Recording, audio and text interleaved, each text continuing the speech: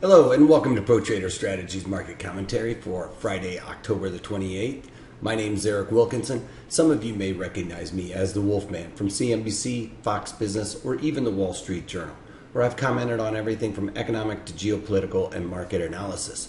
Please keep in mind that everything that we talk about in these daily market commentaries is not a solicitation to buy or sell any of these securities or strategies. At the end of the day, we're here to teach you some different strategies that you can implement into your own portfolios, but please do that in your own way.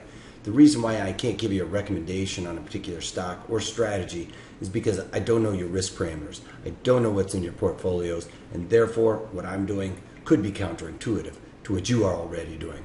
Having that out of the way, let's get this on.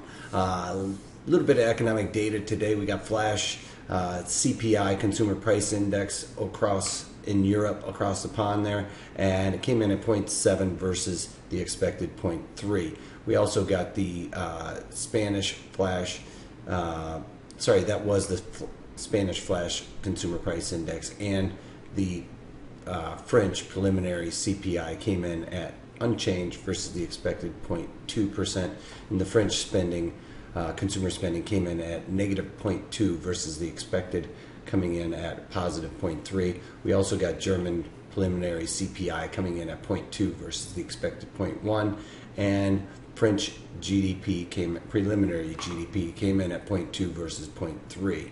Um, then we also got here in the United States we got advanced GDP here came in at 2.9% was expected to be 2.5% so that could start signaling uh, indication that the Fed should start raising rates because that is right around the target that they uh, went to start raising interest rates. We also got the advanced GDP price index came in at 1.5%, was expected to be 1.3%. So both those GDP numbers here in the United States came in higher than expected.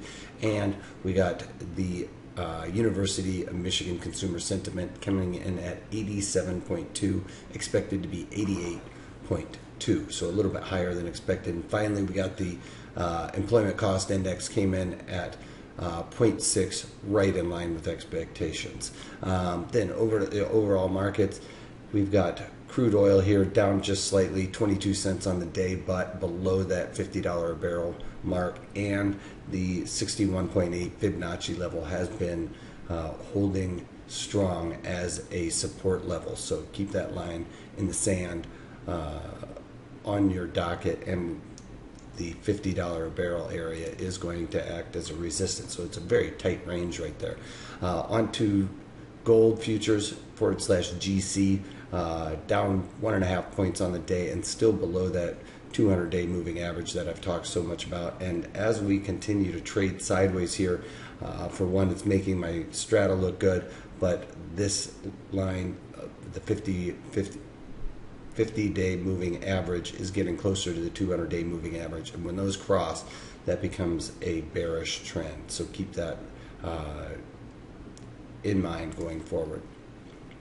On to the bonds forward slash ZB. As you can see, this is really getting very close to lining up uh, and flipping over with the 50 day moving average moving below the 200 day moving average, very close there. Uh, bonds down on the day, but finding support here on the 61.8 Fibonacci level. Uh, we finally broke below that in yesterday, just a big sell off today, finding support.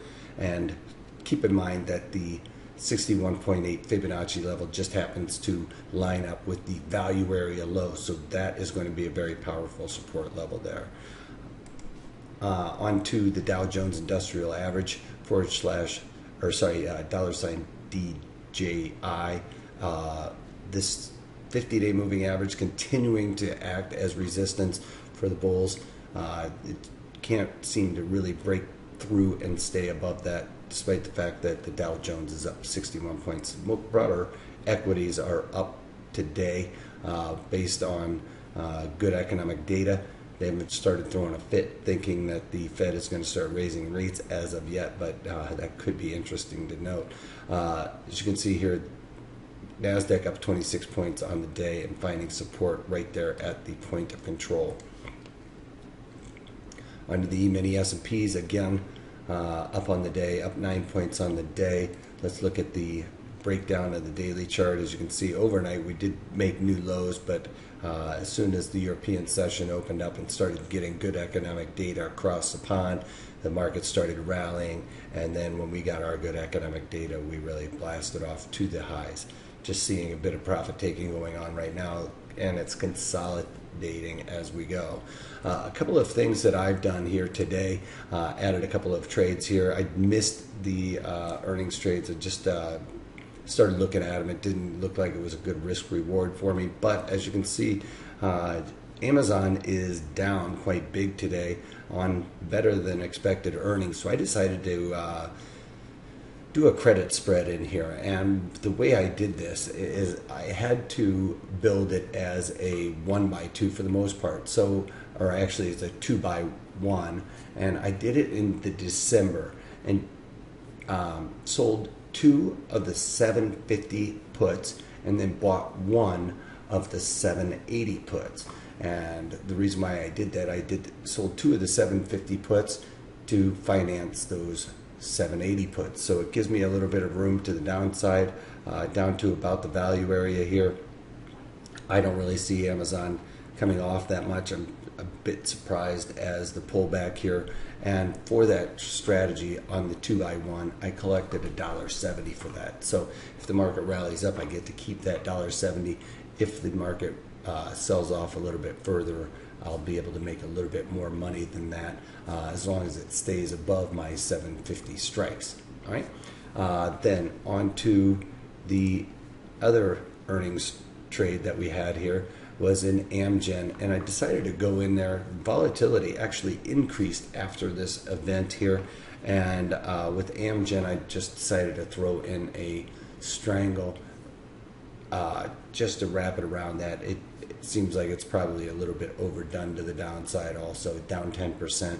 Um, I could easily see it starting to consolidate here looked a little bit better this morning when the market started coming back for me a little bit, but uh, since then has started sliding again. But take trying to take advantage of some high volatility and hopefully get a bit of a volatility crush in there. So I did the December again and sold the 130 puts and the 160 calls and was able to collect $2.45 for that. So it's a little bit tight on the upside, but I still have quite a bit of room to the downside for the 30 puts before I have to start working, uh, worrying too much about them. That would be a 52 week low, well below a 52 week low. So, trying to take advantage of that. It's not really looking that bad for Amgen, but uh, the overall market beating them up.